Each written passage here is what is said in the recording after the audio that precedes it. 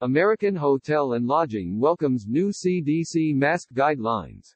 Recent CDC mask guidelines for vaccinated Americans lifting certain face covering restrictions was welcome news by American Hotel and Lodging Association who says this should help speed up a much-needed recovery. AHLA's Safe Stay guidelines will relax mask requirements for guests who are fully vaccinated. They are not asking hotels to require proof of vaccination status but asks that all guests respect and honor revised guidelines. Unvaccinated guests should wear face coverings at all times and practice physical distancing. The following is a statement from Chip Rogers, President and CEO of the American Hotel and Lodging Association, on updated face covering and physical distancing guidance from the Centers for Disease Control and Prevention CDC. Like all Americans, we are excited for a return to normal life, which includes travel. As an industry, our primary concerns have always been guest and worker safety. Hotels rose to the challenge of the public health crisis through Safe Stay, an industry-wide health and safety initiative established in cooperation with AHLA. Throughout the pandemic our Safe Stay guidelines continued to evolve to align with the current environment and CDC guidelines, and the same will be true as we work to reopen.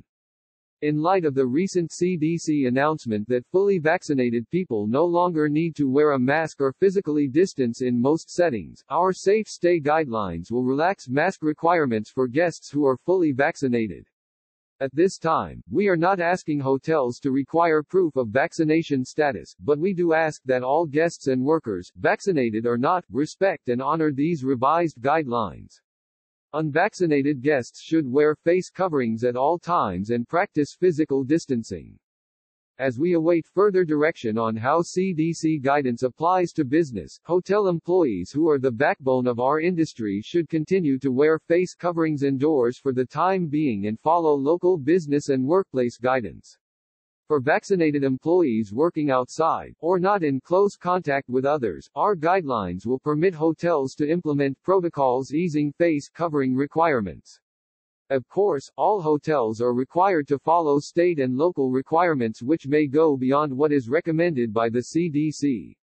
The COVID-19 vaccine provides our nation and our industry hope for recovery after a devastating year but we expect further guidance from the CDC and public health experts to support our efforts to ensure the safety of our workforce, guests and the general public. In this spirit, as an industry we support innovative solutions to encourage our workforce and guests to get vaccinated and call on all Americans to be vaccinated before removing face coverings.